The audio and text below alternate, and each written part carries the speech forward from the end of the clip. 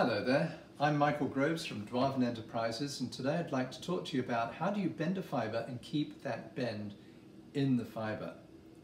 Where it becomes useful is when you, for example, I was lighting up my English pub and I put some lights up on the reverse gable but I needed to have the fibre so that it was actually bent and would stay bent.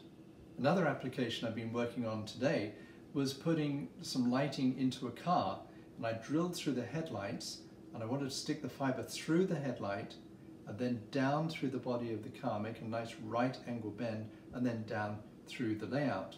But in order to do that, I need to be able to make a right angle bend and for it to hold very well.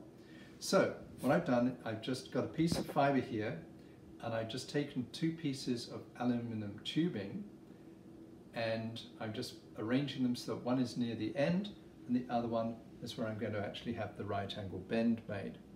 I'm going to actually use the trick of putting these into boiling water.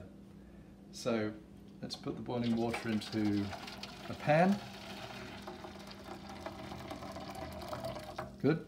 And all I'm going to do now is I'm going to stick this fibre in, put it down at one end into a corner, and now you can see it's very easy for me to bend the rest of the fibre it's bent.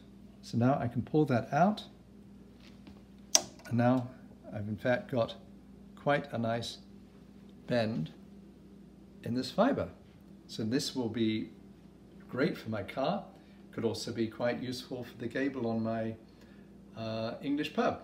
So that's all there is and I hope you enjoy this and enjoy using our lighting system.